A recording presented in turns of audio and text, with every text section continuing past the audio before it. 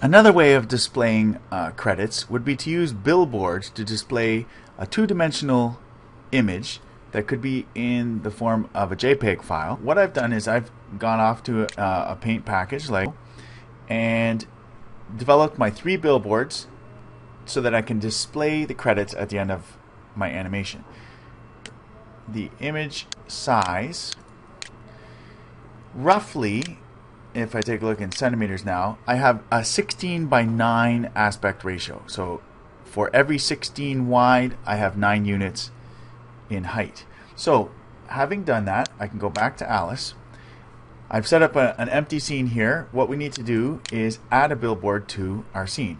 In the Shapes text gallery, I can add a billboard, give it a name, um,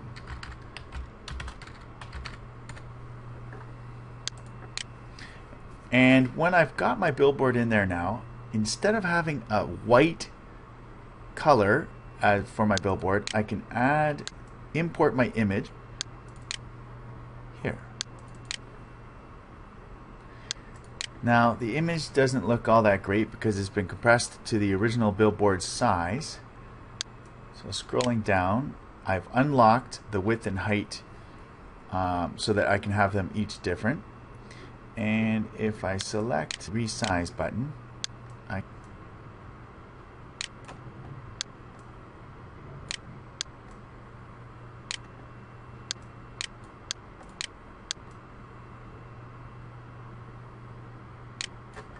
Now my billboard is vertical with the world, but my camera is looking down upon that billboard. So I'm going to move my camera closer to the billboard.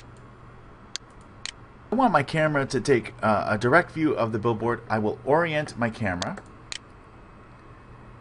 So grab the camera, camera to an upright position.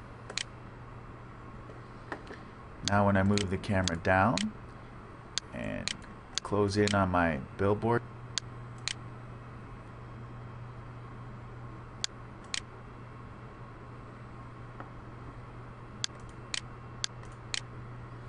So when I've got my camera in position, what I'm going to do is drop a camera marker. If I add a camera marker here to final credit view.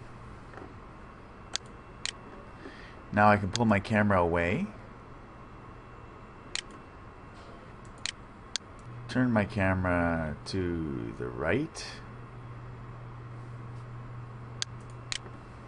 So I might set up my scene in this direction, right? After my animation is over, I'll turn my camera, move it and orient it to the uh, final credit view, and make my billboards appear. So in order to do that, I'll go back to my code.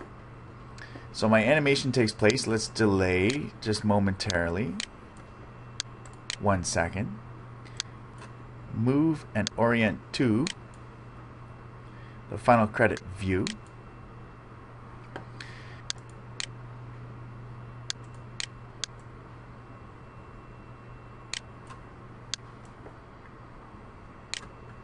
to zero. So the credits will start off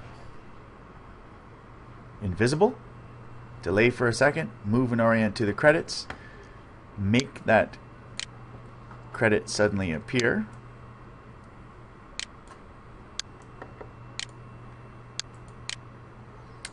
Delay for a little bit of time so that we can read the credit and then make it disappear.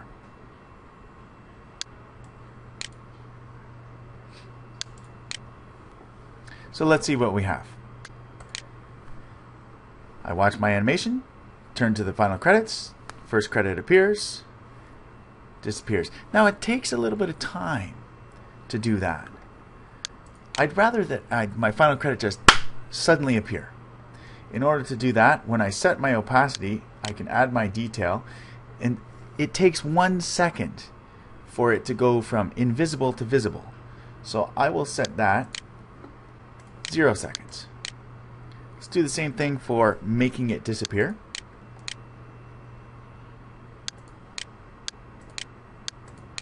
And take a look at it now. Watch my animation turn to the final credits, bam, there they are, bam, there they're gone.